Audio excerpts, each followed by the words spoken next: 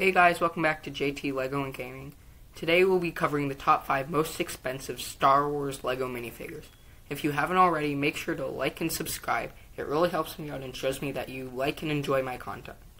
Now, without further ado, let's get right into the video.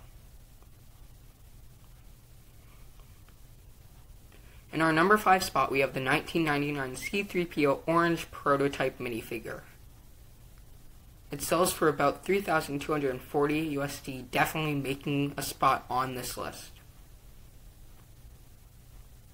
In our number 4 spot, I kind of combined the silver slash bronze 2010 promotion to Boba Fett's that sell for 5,250 USD and 8,360 USD.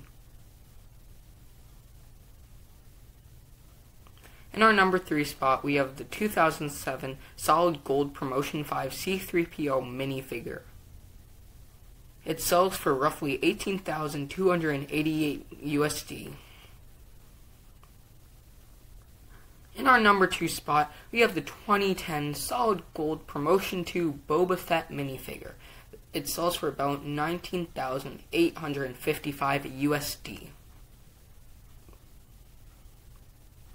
In our number one spot, we have the 2010 Comic Con Silver and Gold Shadow Box that sells for 36,575 USD. It includes a solid silver Boba Fett, a solid gold Boba Fett, and a white printed gold Boba Fett.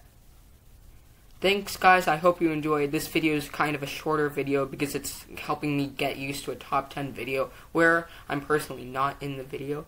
I hope you enjoyed. Please make sure to subscribe and like this video. It helps me out a lot. Awesome. Tell me how you thought of this video. I'm going to try and make better videos. Peace guys.